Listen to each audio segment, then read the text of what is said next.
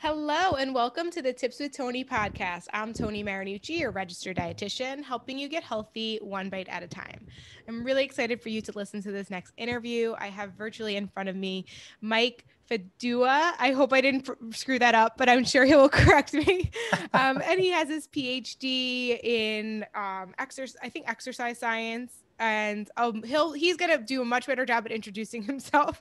I always butcher introductions, so I'm gonna let him do the work. But I know you're gonna love this conversation. It's talking all about BMI and body fat percentage and what you need to be looking for and what's actually important and what matters and how to measure it properly. And I'm super super excited to have you guys listen to this interview. So without further ado, Mike, welcome to the Tips of Toni podcast. Thank you very much. I'm excited to be here. Yeah. Awesome. It's okay about the last name. My my, my in-laws uh, messed it up for the first couple years that we were married. So uh, one of those names. I feel bad because my last name's complicated too. So people always screw it up. And I'm always like, I don't like when people screw it up. but so let's please introduce yourself by sharing who you are, what yeah. you do, and most importantly, why you do what you do. Yeah, absolutely. So my name is Mike Fedewa. I'm an assistant professor at the University of Alabama. Um, so I spend most of my day teaching, um, teaching courses and, and researching. Um, I got into this, honestly, I struggled with weight for most of my adult life. So all the way back into to middle school and high school, I've always been overweight um, and really struggled. You know, I think as a, as a teenager who's a little bit heavy, struggled to figure out ways to lose it and, and you know dealing with misinformation and bad advice and figuring out you know where to go for reputable sources and um, how to do it healthy and um, wasn't finding straight answers i guess. And so decided that i wanted to pursue this as a career. And um, you know over the course i think i think at my heaviest i was around 290 or 300 pounds almost. And then lost it with eating right and and you know exercising and and kind of adopting like a, a healthier lifestyle all around. So Awesome. That's the best way. I love hearing stories. Yeah, like absolutely. Yeah. When anybody comes on and if they ever say anything other than adopting to the lifestyle, I don't use the episode. I'm going to be frank. That's just, I've learned to just pre screen people. Like, that is not my message. I do not want you dieting and being on this podcast yeah, it's a long road. And we always tell people too, it, it doesn't come on quickly. And so it, it, you know, we shouldn't really expect it to go away very quickly either. So it's a long road and slow progress is better than no progress. And yeah, um, yeah. yeah, it's a, it's a lifestyle. It's not a quick fix. So definitely, definitely. I was watching um the voice last night i was catching up on the voice and one of the singers was a personal trainer and gwen stefani i'm not sure if you're familiar with the voice but Absolutely. gwen stefani um made a comment like to the to the girl when she was did a good job singing and she and they saw her backstory and they're like you know and you exercise and like that i feel like that shows like how strong your will is and all that stuff. And i hear her point but what, the reason why i'm bringing this up is because like i guess because i'm so involved in the world i like forget that a lot of people just don't exercise. So it was like almost like she was saying it like oh you exercise like where maybe nobody else does or something like it almost like yeah. it was like a rare thing yeah. and i forget that and also i was taking doing a peloton workout the other day and the instructor was like you are doing the thing that most people don't do and i i i oh, I, I really think I've gotten so far up for forgetting that like it is so ingrained in my lifestyle that for some people it is this foreign concept and it's just like not even part of something that they incorporate. Yeah. And so it's it definitely needs to be a lifestyle change and I hope that we can make it more of the norm. Yeah, we remind our students all the time in class, like you guys are the 99.9th percentile. Like there's the the people who you're sitting next to are healthier than you know than than students across campus or you know folks kind of out in the real world. I mean, you guys are really in like this exercise science bubble where you just forget that mm-hmm. you know mm-hmm. the the choices that you guys have made and the lifestyle that you guys are living is is not the norm. And yeah yeah. that's really easy to forget sometimes. Yeah, definitely. Okay, so let's talk a little bit more that because I know you and your brother, I believe, created this new app, which is so cool. I'm so excited to learn more about the science behind it. Um, yeah. But tell us more about what this app and kind of what made you decide to create it.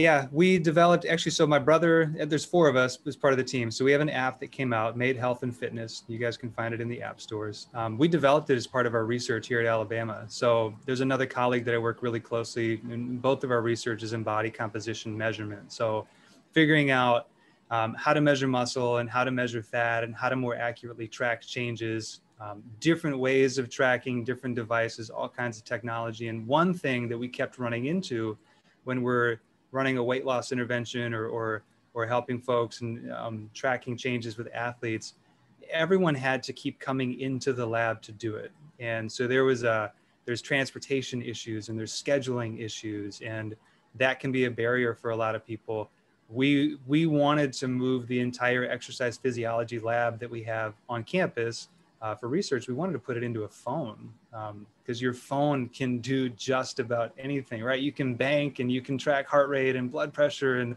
social media. And so we said there's got to be a way we can measure body composition with the phone. So um, Dr. Esco and I developed the app kind of over the past two or three years. Um, worked with the university to to have you know go through the patent process, um, and then when it was ready to launch, the we needed a foot kind of in in the real world outside of academics. And so we brought in two other partners to help us, and my brother was one of them. And, and we have um, some legal help from another friend that we have. And, and we decided we decided to launch to give pretty much everyone the tools that they need to measure what they're made of in their pocket. So they have it in the palm of their hand. It's so awesome. It's so awesome. So let's talk a little bit more about the differences between like why would someone want to check their body fat when they can just look, you know, figure out what their BMI is. Like, what are the differences? And you know, I know these, but I want the listeners to hear it from you. right. Know a lot more about this topic, and I think it's something that I've been wanting to talk about. And I think you could do a much better job explaining the science behind why you know that I titled this podcast "The BMI is Bogus" because like it really is bogus. can, you, can, you, talk to that a little bit more? Yeah, absolutely. Um, so there there is a disconnect between between body mass index and, and body composition. So when we when we talk about BMI, and one of the reasons we kind of want to want our listeners and, and our and our users to get away from just tracking weight is that the scale can sometimes lie, especially with exercise and, and with weight loss and and you know healthy eating.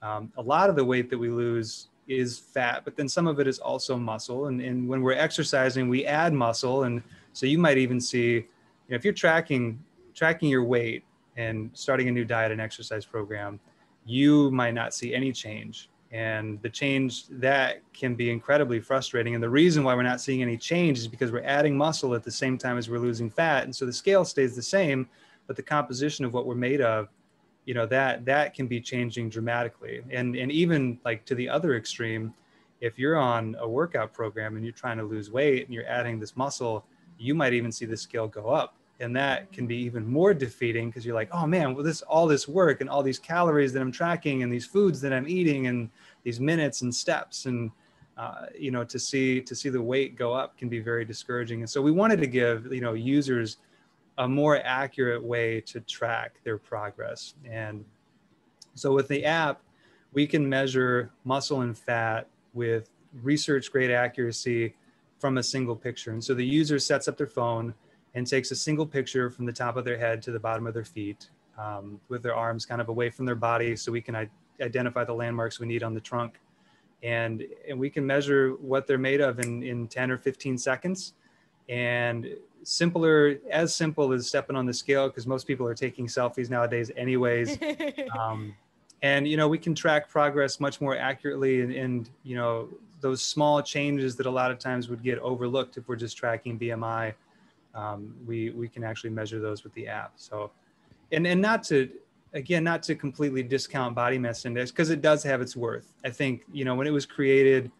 Um, and the way that it's used now, we still use it in all of our research, and we use it, you know, mm-hmm. to track big changes in you know weight status at the population level and so i think for big epidemiology research it's very important right um, trends in weight change you know over the past few decades like there has been an increase in obesity and I think that that's true. And I don't think BMI is inaccurately representing that. I think, you know, I think since the 1960s, we saw numbers that, you know, average body weight in the United States has gone up by 25 pounds. And so I know that that's not muscle.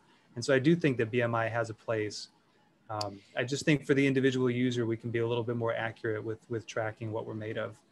Right. And I think, you know, when it comes to BMI, it's, it's a small part of the story, right? Yeah, so like, yeah. and I think to be honest, like from my personal experience working with clients of all different sizes and body sizes and goals, you know, I think it, there's something to be said in the extreme cases, but when it's someone who you know is put in the overweight or even like obese category um and it's not like in morbid 2 or morbid 3 like there's there's just certain layers to it that i think it's important and the reason why we have these other forms of measure like really need to be put in place.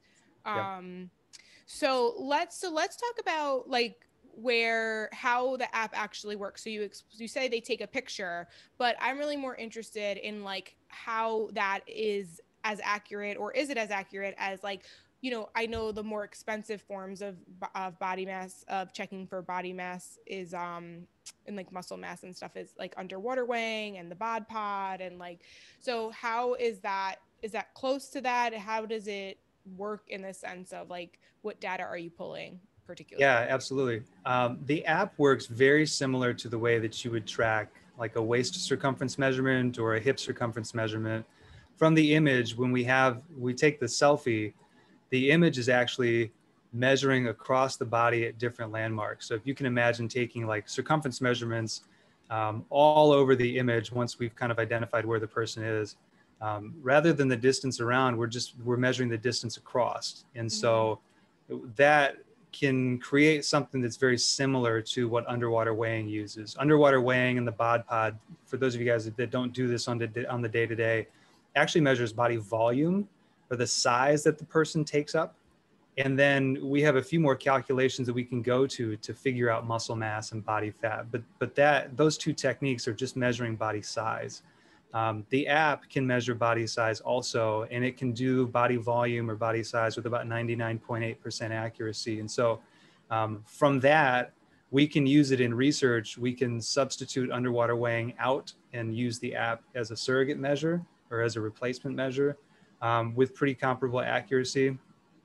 We correlate really strongly with those kind of other lab-based measures. Correlations anywhere for, for the stats nerds out there, 0.9 up to 1.0 is, is really very strong, like almost perfect correlation. So, so we have pretty good accuracy. The, um, the, the main benefit I think with the app is that it's so much cheaper and it again reduces that need to come to a physical place to have your body fat or, or muscle mass measured. So you know the the underwater weighing i think is a great option. The bod pod is based on pretty similar techniques. There's others that are out there that are more kind of mainstream commercial.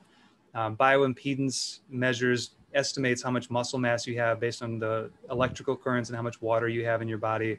And then dexa i think most people would would assume is kind of the gold standard measure. And th- that measures muscle bone and fat using x-rays. And so we correlate really strongly with all of those lab-based measures. We're just about 70 or 80 thousand dollars cheap so, and we're portable. Yeah.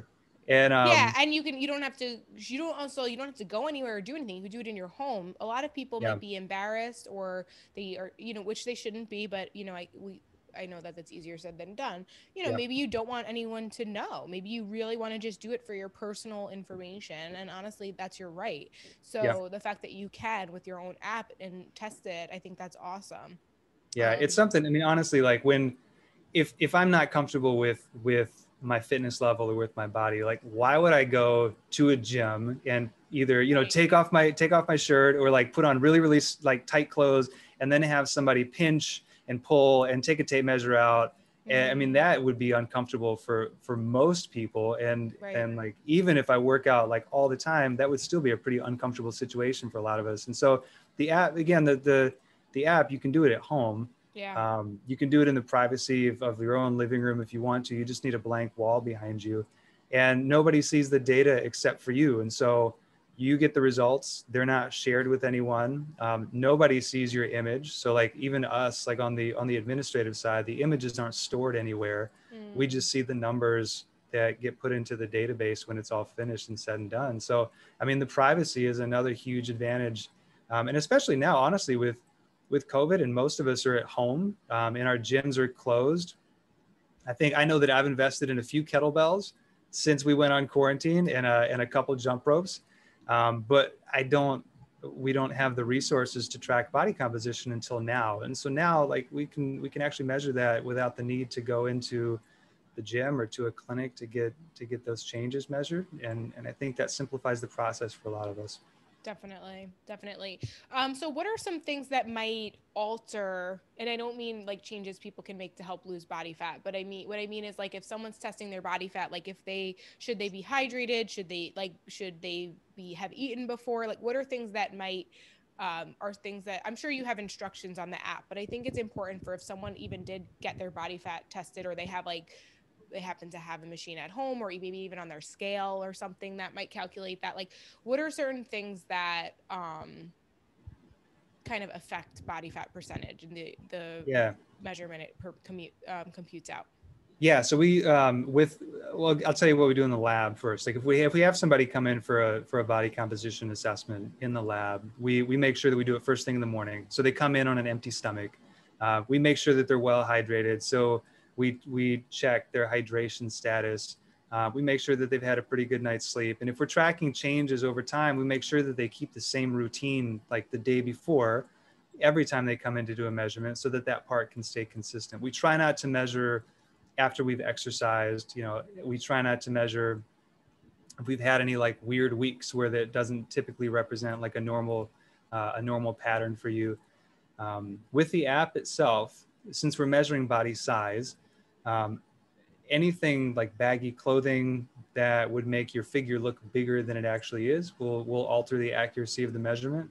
Um, so we try to have people wear like leggings or yoga pants and sports bra or leggings and yoga pants and a compression like a top or something like that. Guys usually go shirtless um, and they scan that way. But if, if somebody wants the most accurate measure, whether they're doing it with our technique or if they have a scale at home or if they're getting it done at a clinic, um, first thing in the morning, fasting, make sure you're well hydrated, come in on an empty stomach, uh, make sure you haven't exercised that day and and you should get pretty accurate numbers. The the main drawback that we see with other techniques, um, the hydration level really messes with the accuracy, mm-hmm. and so the the the the accuracy of the like the bioimpedance technique kind of goes all over the place if somebody comes in and they're they've had a ton of salt the, the day before or varying like based on menstrual cycle changes mm-hmm. or uh, medication changes anything that's going to alter that total body water number um, really throws off the accuracy.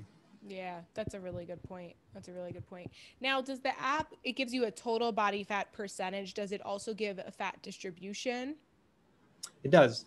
And that was something that we wanted to make sure we could provide to the users also. So we give a um, a whole bunch of a whole bunch of measures. We give um, fat-free mass, so that's muscle, bone, and, and water. We give fat mass in um, in kilograms. We give body fat percentage, but then we also give the user something called android and gynoid fat, which we use a lot of times to identify folks who might be at greater risk of health complications because of higher body fat. So we know that the distribution patterns that somebody has, like where they're storing their body fat, makes a big difference.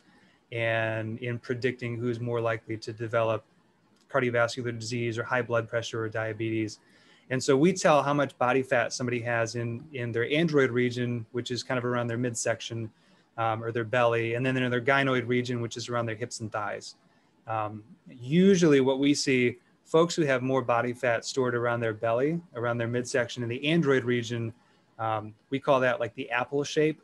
They are usually at higher risk for high blood pressure and diabetes and, and high cholesterol and cardiovascular disease and cancers and stuff like that um, having higher body fat, but storing it pre- predominantly in the lower body, in that gynoid region, the pear shape, um, carries a lower risk. And so we want to give our users that also, so that not all body fat is created equal. Where you're storing it um, matters a whole bunch. And so we want to give folks that information too. Yeah.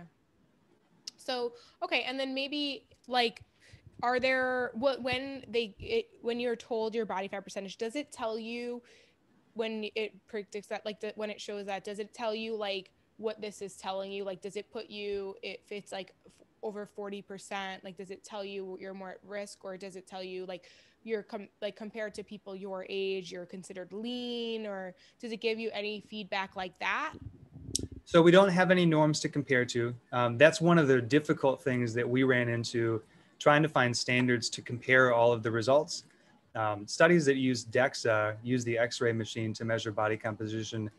on average, they usually test a little bit higher than the other methods. And so what they would consider to be higher risk, or if they're using like percentiles or ranks or scores to figure out where a person stacks up, um, their numbers will be a little bit different than if somebody has standards that are based on bioimpedance or underwater weighing. So, mm. um, taking your measurement on one device and then directly comparing it to another device gets tricky because they're they're going to be off by just a little bit. They're all trying to estimate what you're made of, and they're they're estimating in a little bit different ways. So, um, what we want and, and what users can do when you download the app, you can allow us to use the data for research purposes, and that sounds really really um, kind of sinister. Like there's a lot going on behind the scenes. But the data that we're pulling is is height and weight, and then your age and your gender, and then your body fat percentage. And those are the only those are the only pieces of data that we're pulling, and we're pulling those so that we can create these big normed data data sets. What we what we hope is that we'll have hundreds of thousands and millions of downloads and users created that allow us to track the data and so we can then take those numbers and say, look, like this is compared to somebody your same age and same height and same gender, this is where you kind of stack up compared to folks who are just like you, so that you can put your numbers in context. Yeah. Um, we have frequently asked questions in the app to to go into more detail, like, hey, this is your Android body fat number. What what the heck is Android body fat, right? right so there's frequently right. asked questions, and there's more information, and we can point point you guys to resources within the app um, but that's one of the goals is that we would like to build the biggest publicly available database of, of normed body composition values because a lot of folks don't even know. For an average 25 year old female like what what is what is normal? Right that, i actually like that you're not comparing to other kind of like other methods of calculating because it's like being on two different scales right? And it's like exactly. you can't you can't compare the two. You have to just use the same scale exactly yeah. I love that a lot i like that a lot. Um so one thing i was i'm wondering is your kind of thoughts on someone who might be trying to lose body fat. They're they're doing all the things they're strength training they're in a calorie deficit they're focusing on protein like you know, doing all the things. Um, at what pace would you say is expected or like so what I uh, let me just backtrack by just saying like when someone comes to me and they want to lose weight, you know, they have done all the things to lose weight really ra- rapidly but then gain it back and so I, my, I tell them that you know the gold standard or like the the, me, the way in which we want you to lose weight would maybe like anywhere from like honestly a quarter pound to even two pounds per week right like not yeah. you know some weeks you might not even lose some months you might not lose right? Because we're not really focused on the scale. But if i was you know just to see if we're on target like at in their three month mark we want to see if like okay are they on a on a healthy steady pace? So i'm asking i'm saying that because i'm wondering when it comes to body fat percentage like what is a realistic expectation in drop from say month one to month two to month three to month four? You know like will that yep. change much in the for the body fat percentage, not the weight? So the body fat percentage will change a little bit more slowly than the, um, than the weight number will, and I think yeah. that's because a lot of the weight that we're losing, we would normally say about 75% of the the weight that you lose is fat, and some of that is going to come off as muscle. Mm-hmm. Um, during the first few weeks, a lot of that is going to come off as water, and so um, we might see during the first couple weeks, if we see a change in body weight, we know that a lot of that is fluid retention. So we're, we're sweating and we're, we're, we're cutting maybe some foods out of our kind of normal eating habits. High sodium um, stuff. yeah. You know, like adding fruits and veggies. yeah. So we're, we're eliminating some of the maybe less healthy foods and replacing them with healthier options um, a lot of the weight that we lose initially is going to be water. And so we may see pretty rapid changes if they're going in that direction at first, and then they tend to slow down. They're slowing down because beyond that first like three to four weeks, um, we're actually losing a little bit more fat than we were kind of at the beginning. And so the changes can, um, the pace varies, um, but you know the scale again is giving you kind of an incomplete picture of the of what we would expect. I think that there's a disconnect too with what um, folks who are starting a program expect to lose and then what the clinicians and practitioners on our end are, are, kind of seeing as a realistic successful program and so what we've seen on our end is folks who are expecting to lose 10 or 15% body fat uh, or, or we're expecting them to lose like 10% body fat would be great. And then, and then they come in expecting like they're going to drop 35% fat and then get very frustrated that the progress, like you said, is, is half a pound here. And then we may go up next week and then we're coming back down the week after that. And so I think um, taming those expectations a little bit and recognizing that, that any progress is good as long as we're kind of making this slow, steady, like march toward our end goal. Mm-hmm. Um, okay. So see, and I hear 10%, I'm like, that's a lot. I guess it is a, it is a lot. To, yes. to lose 10% body fat, I feel like that's like, unless you're like in the very high range, because like let's just put things in perspective because then there's also like too low body fat right? Can you talk a little bit to that? Like when would someone want to be more more co- concerned about maybe putting fat on? Yeah so actually so let me backtrack a little bit. So when we say like 10% 10% fat loss to put that in context if somebody who weighs you know 200 pounds we're we're talking about 10% of 200 we're we're losing like 20 30 pounds of fat and that's a lot of, of weight to lose if you think like the number of calories that are stored in a pound of fat that that is an incredible like amount of progress and so that that would be at the very very far kind of extreme end but i think um, what you mentioned with folks being underweight or or having too low body fat fat has a function physiologically. And so we want folks to have body fat because we need our hormones to be regulated. Um, it serves a fun- function with cell signaling. And so we would we would expect kind of women, especially below like the 12-ish percent body fat numbers, mm-hmm. um, that would probably for us be the lower end of what we would want someone to be at. Anything lower than that, we start worrying that we're um, we're impacting our, our bone health. We're, we're missing menstrual cycles. Yeah. There's, um, we're having kind of these unfavorable changes that are happening within the body because our body fat is too low. Mm-hmm. Um, same thing with guys. We have our threshold is a little bit lower. So anywhere within like the three to 5% range, we would call probably essential. Um, anything lower than that, we're, we're starting to worry that we're having some unfavorable health outcomes too.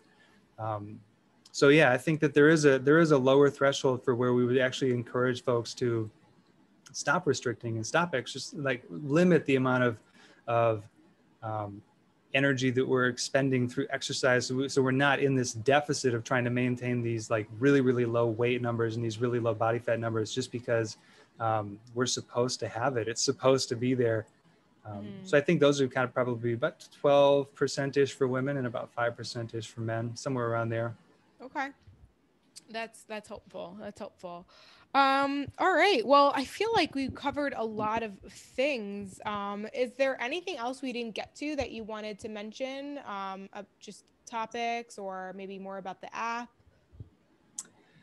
Yeah, well, we so what we have for the users, just so we can kind of tell you guys and all the listeners, we we have a code that you guys can download the app and track with. And one of the things that we wanted to do is a thank you for letting us be on was to give you guys. Um, we'll pick one person that that downloads the app with the code, um, Tips with Toni, and we'll give you guys a six month membership so you can have unlimited scans and have access to track all of your changes and share with your friends, um, kind of in the new year once once you start kind of the the new exercise and, and healthy eating plans. So, um, Toni, if you want to talk a little bit more about that, you can give a little bit more detail. Sure. Yeah, definitely. So, yeah, well, first of all, I think everybody can download, if everybody, anybody who downloads the app and uses Tips with Toni, they'll automatically get one free reading, right?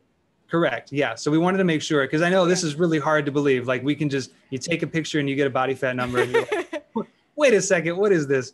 Yeah. Um, so everyone who downloads the app gets a free scan, and so you can awesome. see how it's set up, how to take the picture, kind of what the user experience looks like, and see the features. Take your measurements, get your numbers. Um, if you want to do a second measurement, then um, we have a subscription option that you know if you subscribe, it's it's unlimited scans. So. You i mean we're not recommending that you would scan every day but if you really wanted to get in there and take a picture every day go for it um, you can track as many times as you want to that's a good point, though. How often should someone be checking their body fat percentage? What I usually check once a week. Really? Um, yep, once a week, just because. Like I would normally, if I'm tracking, I if guess... I'm tracking my workouts and I'm tracking um, just for my own progress, I just want to see what's going on, just because I'm curious. So I, I would, I do it once a week.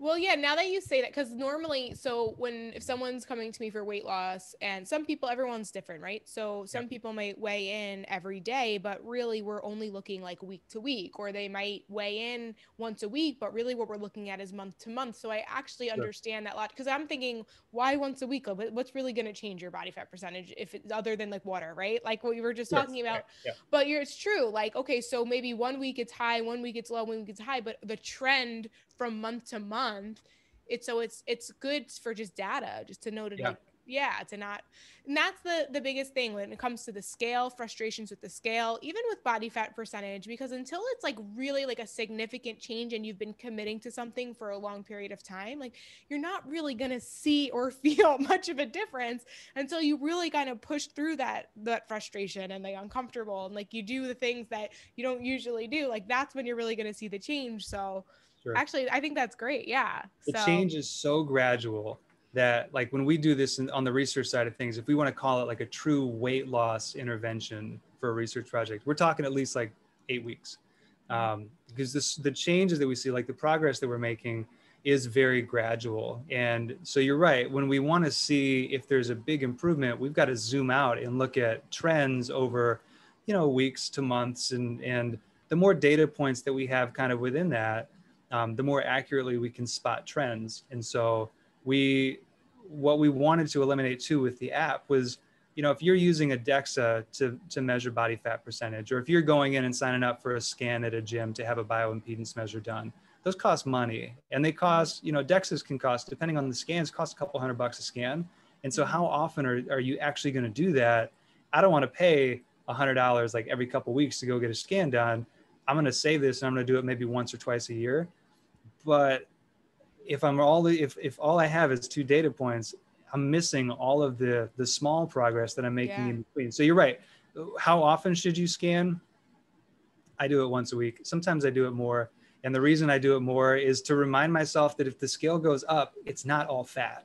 Right. And and right. so, and actually, if the scale goes up from day to day, there's a good chance most of that is water, and that's going to show up in your scan as fat-free mass, which again is reassuring that I can have a beer and be a normal person and go out for pizza and have a burger and do that and, and still live like a normal, healthy life and not get completely obsessed with, oh my gosh, I added half a pound since yesterday.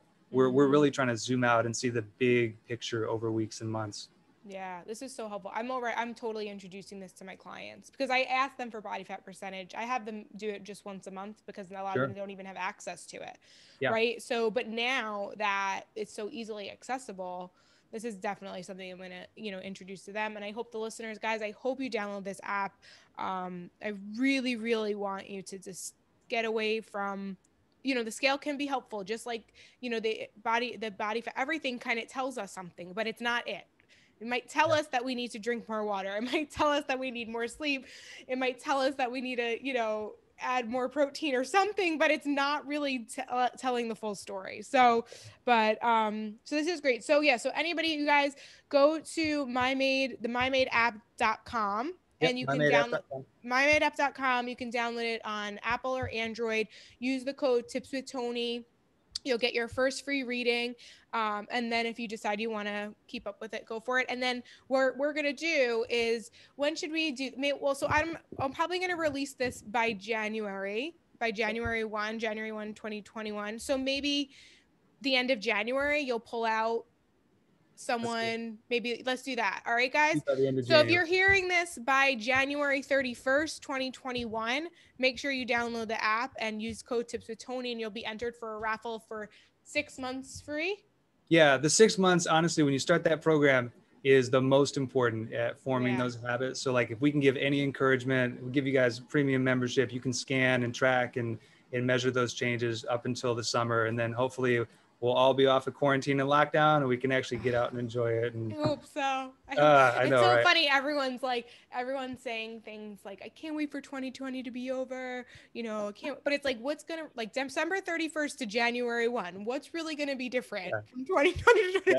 Like, it's yeah. still going to be here, unfortunately. like, not much is changing, but hopefully the end of it is over. Something comes out where, I don't know, hopefully it won't be as crazy as things have recently been.